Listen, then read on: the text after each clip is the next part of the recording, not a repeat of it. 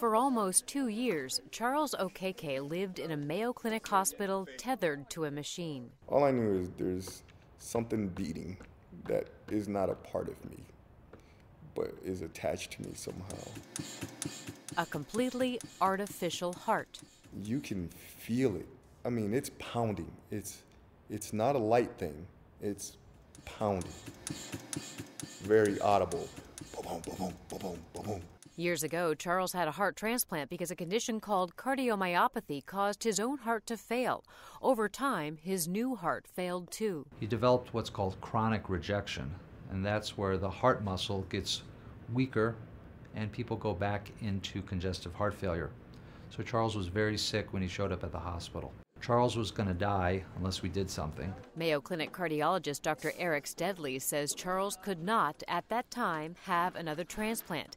His immune system was so revved up that it would reject almost any new organ. What they did to keep him alive was implant the artificial heart. First, the surgical team removes the right and left ventricles, or the two main pumping chambers. They also remove the heart valves. Then they attach small tubes to the upper chambers and two main vessels. Finally, they attach the artificial pumping chambers.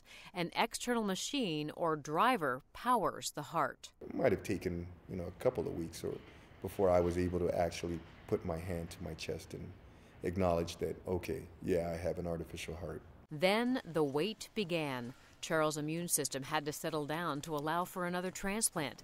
Days, weeks, months passed. You have to have a strategy. So it's a long day.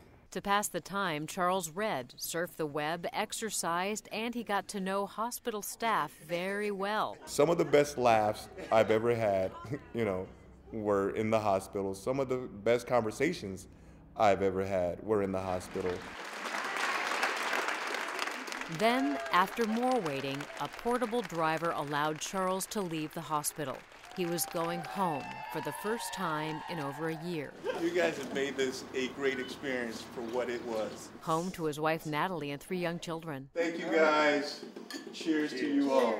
But it was a temporary visit. Charles couldn't stay on the artificial heart forever, so after a time at home, he went back in the hospital where finally he received the gift of life after two years on the artificial heart. The great thing that I've learned in all of this, how my life has changed, is that I think I know how to simplify my life.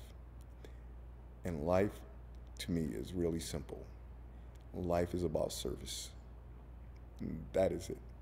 I learned to be a better physician taking care of him because I wanted to radiate that hope to my other patients who maybe didn't have that same resiliency that Charles did because I knew it was the way to get through some tough time.